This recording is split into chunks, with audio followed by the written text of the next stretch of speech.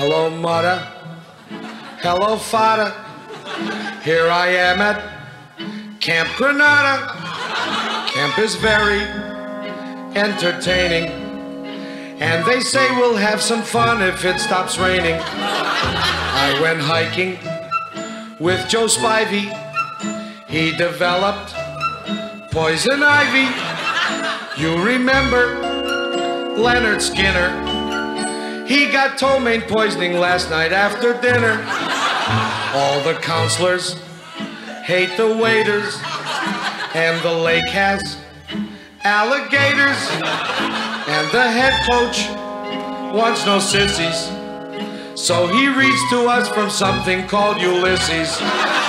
Now I don't want this should scare you, but my bunkmate has malaria. You remember Jeffrey Hardy?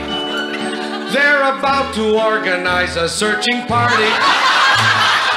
Take me home, oh mother, father, take me home. I hate Granada, don't leave me out in the forest where I might get eaten by a bear. Take me I promise I will not make noise or mess the house with other boys. Oh, please don't make me stay. I've been here one whole day.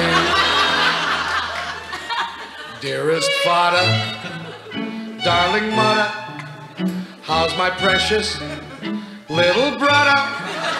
Let me come home if you miss me. I would even let Aunt Bertha hug and kiss me.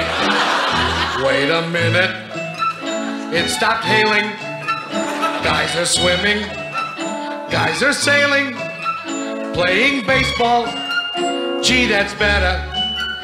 Mudduh Fadduh, kindly disregard this letter.